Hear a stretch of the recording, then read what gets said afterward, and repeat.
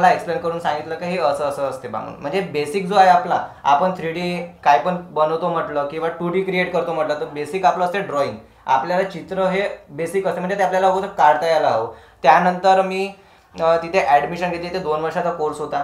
पण आपण जे आता मी थ्री डीमध्ये कोर्स केला त्यामध्ये मला जे काही ड्रॉइंग वगैरे काढायचे होते ज्याला मला ते ड्रॉइंगमध्ये म्हणजे plain two D to three D convert करायचं होतं. तर मला ते थ्री डी मॉडेलिंग वगैरे करायची आहे. तर त्यामध्ये बेसिक जे आहे आपल्याला ड्रॉइंग आलं गरजेचं आहे. अशा प्रकारे मी हळूहळू तो प्रवास सुरू ठेवला. प्रज्वल मला आज म्हणजे तुझ्याकडनं लाईव्ह पाहायला मला नक्की आवडेल. की तू एखादी असं स्केच वगैरे बनवून दाखवू शकतो? नक्की नक्की. प्लीज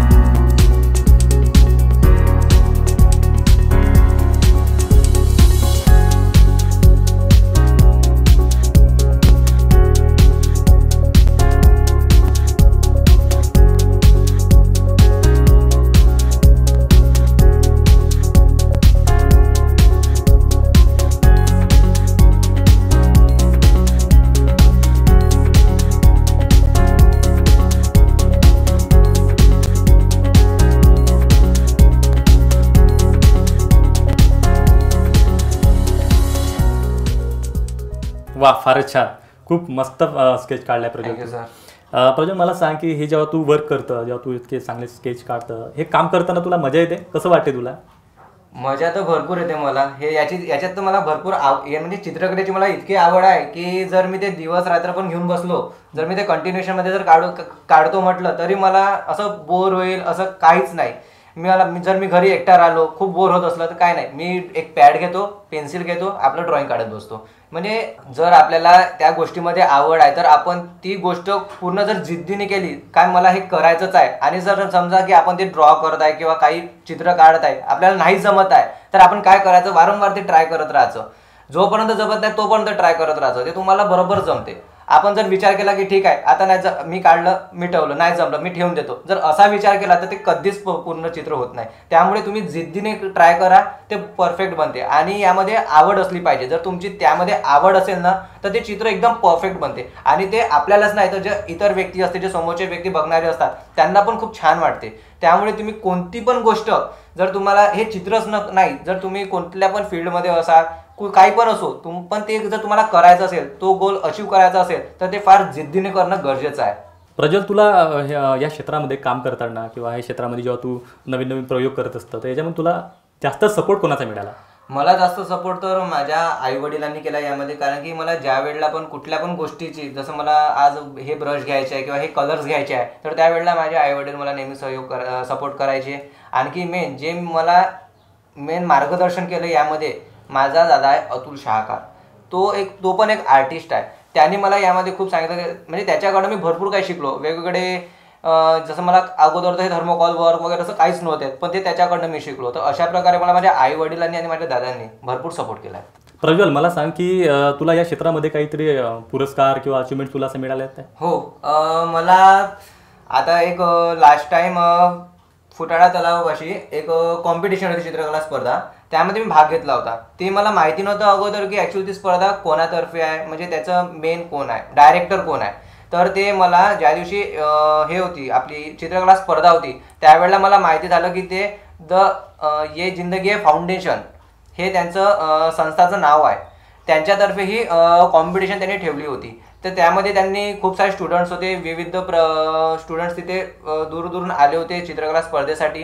तर त्यांनी प्रत्येकाला वेगवेगळे असे दोन तीन टॉपिक्स दिले होते. तर त्या टॉपिक्सवर एक तुम्हाला त्यांनीच प्रोव्हाइड केलेले आन्सरशीट वगैरे होती त्यावर तुम्हाला चित्र रेखाटून त्यांना द्यायचे होते. त्यानंतर दोन तीन दिवसांत त्याचे रिझल्ट्स आले आणि ते रिझल्ट्स फेमस विष्णूजी की रसोई. इथे ते त्याचे डिस्ट्रीब्युशन प्राईस डिस्ट्रीब्युशन वगैरे ते तिथे होतं. तर त्यावेळेला मी तिथे गेलो तर मला ये जिंदगी फाउंडेशनकडनं एक अवॉर्ड मिळाला विष्णू मनोहर यांच्याकडनं. आणखी सेकंड अवॉर्ड मला कॉलेजमध्ये असताना म्हणजे जसं माझं आता मी अगोदर तुम्हाला सांगितलं की मी थ्री डी ॲनिमेशन ग्राफिक्सचा कोर्स केला आहे तर त्यामध्ये काय होत त्यामध्ये काय झालं की मला माझ्या कॉलेजकडनं सांगितलं गेलं होतं की तू हे जे आपली लॅब आहे कॉम्प्युटर लॅब आहे ते तुला डेकोरेट करायची आहे. तर मग मी सांगितलं त्यांना की मी अशा प्रकारे डेकोरेट करू शकतो. तर मी त्यांना एक आयडिया सजेस्ट पण केलं एक आयडिया पण दिला की आपली आपला जो थीम आहे म्हणजे आपला जो डिप्लोमा कोर्स आहे थ्री डी आहे तर आपण ते थ्री डीमध्ये काढायला हवं वॉलवर ड्रॉइंग्स वगैरे. तर त्यांच्याकडनं मला परमिशन मिळाली. त्यानंतर मी वॉलवर एक three D Spiderman Iron Man आणखी कॅप्टन ऑफ अमेरिका आणखी ग्रूट असे जे ॲव्हेंजर्सची थीम आहे टीम आहे त्यांचे मी तिथे वेगवेगळे चित्र काढले. आणखी ते त्यांना खूप आवडले. त्यानंतर जे तिथले संस्थापक होते प्राध्यापक होते त्यांना भरपूर आवडलं ते. तर त्यांनी फेअरवेलच्या दिवशी मला टॅलेंट ऑफ द इयरचा अवॉर्ड दिला. याच्या व्यतिरिक्त प्रज्वल तुला सुधीर मुनगंटीवारांनी पण एक काहीतरी अवॉर्ड तुला दिलेला आहे. हो. नुकतंच आता मी सुधीर मुनगंटीवार सर जे आमच्या ऑफिसमध्ये येणार होते तर त्यांच्याकरता मी विचार केला की का ना त्यांना पण आपण एक त्यांचा पोर्ट्रेट काढून त्यांचा रेखाचित्र काढून आपण त्यांना गिफ्ट द्यावं बा म्हणून. तर मी माझ्या ऑफिसचे जे माझे सर होते मॅडम होते मी त्यांना विचारलं. तर त्यांनी पण म्हटलं की ठीक आहे तू काढ.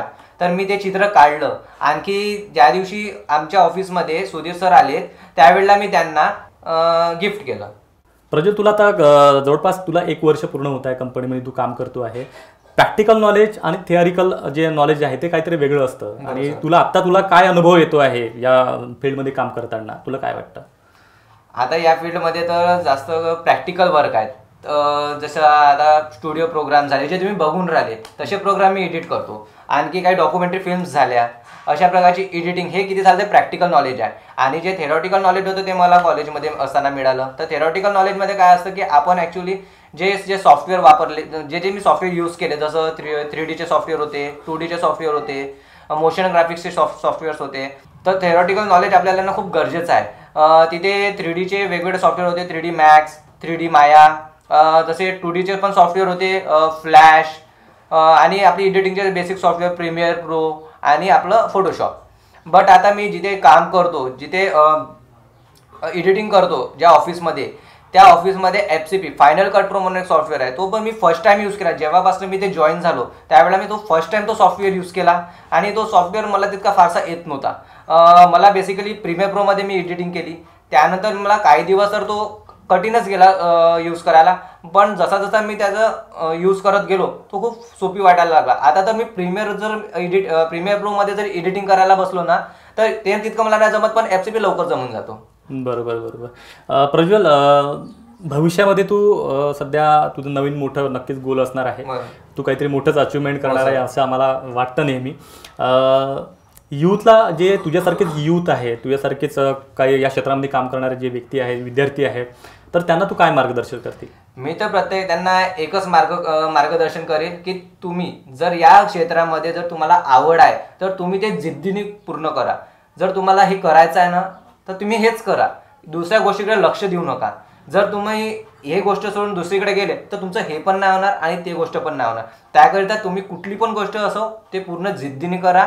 आणि मी तर प्रत्येकाला हेच म्हणेल की जिद्द जर असली ना आपल्यात कुठली पण गोष्ट असो ते पूर्ण होतेच. म्हणून म्हणतो मी मित्रांनो की प्लीज जर तुम्हाला कुठलं पण काम करायचं असेल तर पूर्ण आणि पूर्ण जिद्दीने करा. ते यशस्वी नक्की होते. नक्कीच प्रज्वल. तुला तुझ्या भविष्यातल्या या वाटचालीसाठी खूप खूप शुभेच्छा आणि इतकं मोलाचं मार्गदर्शन तू आमच्या या श्रोत्यांना केलं त्याबद्दल तुझे खूप खूप आभार. तर मित्रांनो कसा वाटला आजचा एपिसोड नक्की तुम्हाला आवडला असेल. आम्ही अशाच प्रकारे नवीन यूथला नवीन एक्सपर्टला तुमच्यासमोर आणत असतो आणि तुमच्याशी गप्पा करत असतो. असे नवनवीन एपिसोड पाहण्यासाठी आमच्या फेसबुक पेजला लाईक करा यूट्यूब चॅनलला लाईक करा शेअर करा आणि सबस्क्राईब करा. तोपर्यंत भेटूयात. नमस्कार.